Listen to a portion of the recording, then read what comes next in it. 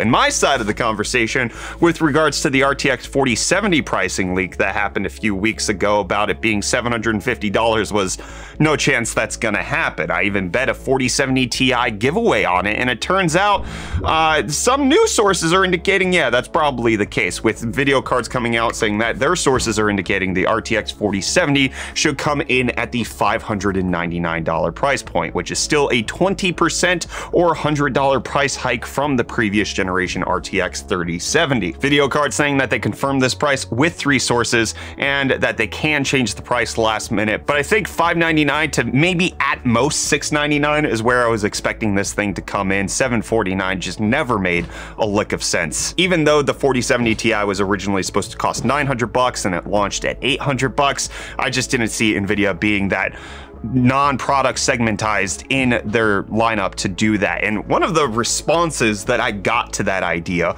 was that, well, Brett, what about the 1660 Super and the 1660 Ti? And I hear you on that. The only caveat that I would give to that argument is that those were technically a generation refresh, and that's what muddied the lineup. It was not the original launch that was weird. It was the additional cards added in after the fact. And we're still on the initial rollout out of the 40 series, I wouldn't doubt that a 4070 Super could potentially be stupidly priced and make things weird, but a 4070 still has to be clearly delineated from the 4070 Ti at 799, which is why 749 never made any sense. I think I Understand 599, it is a bit more expensive. You are getting a few extra things. It is supposed to be faster than the 3070 Ti, which came in at 599. You're getting seven extra teraflops. You're getting four extra gigabytes of VRAM coming in at 21 gigabits per second, but you are getting less memory bandwidth because it's only on a 192-bit bus like the 4070 Ti is